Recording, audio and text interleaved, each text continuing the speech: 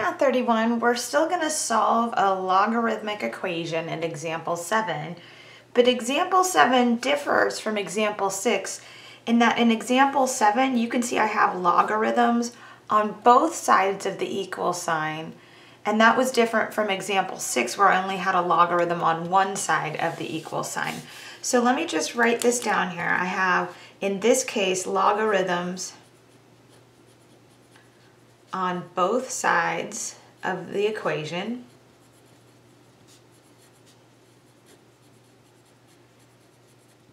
And when you have logarithms on both sides of the equation, the mechanics of solving this are that you want to get a single logarithm on either side of the equation and then set the arguments equal to each other. So let me write that down. Get single argument or single logarithm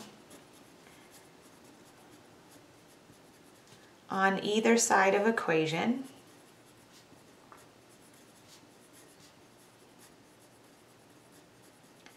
And set the arguments equal to each other. Oops, set arguments.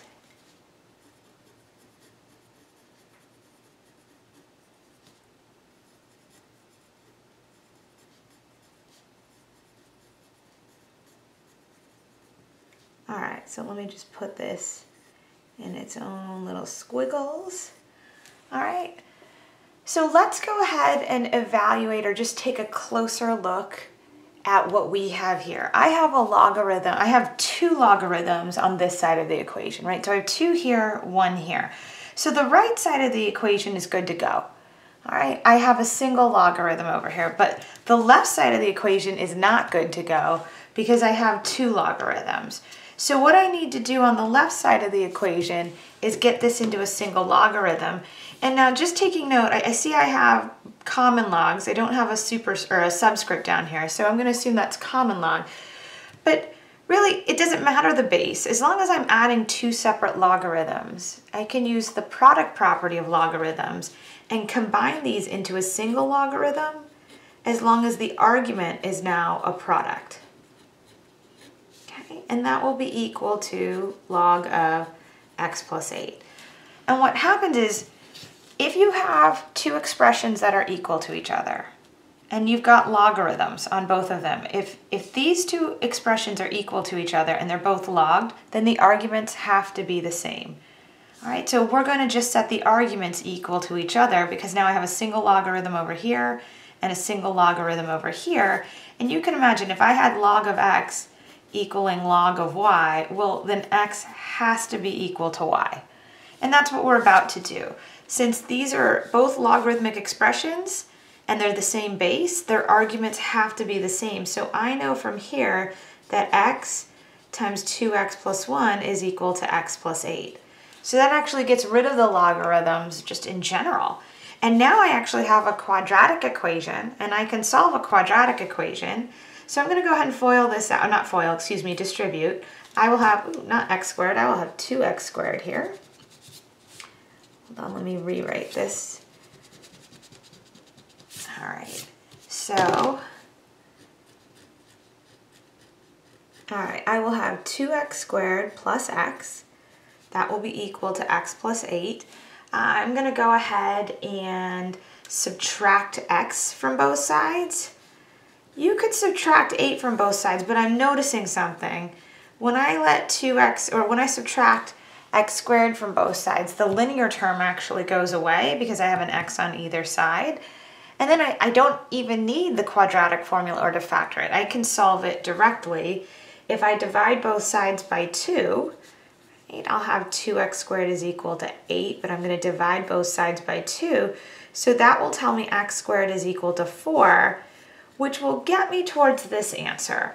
I will have x equaling either plus or minus 2.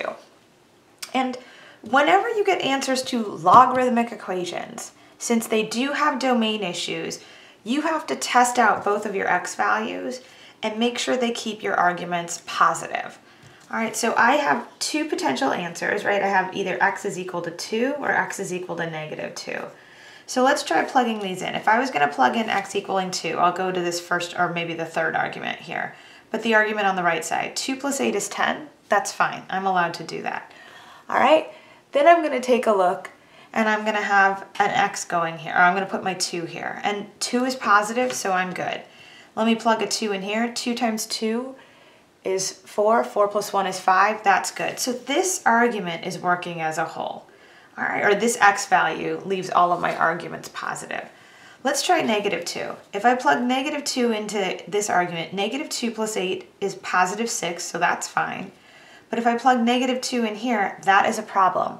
I'm not allowed to take the logarithm of negative 2. And over here we had 2 times negative 2, which is negative 4.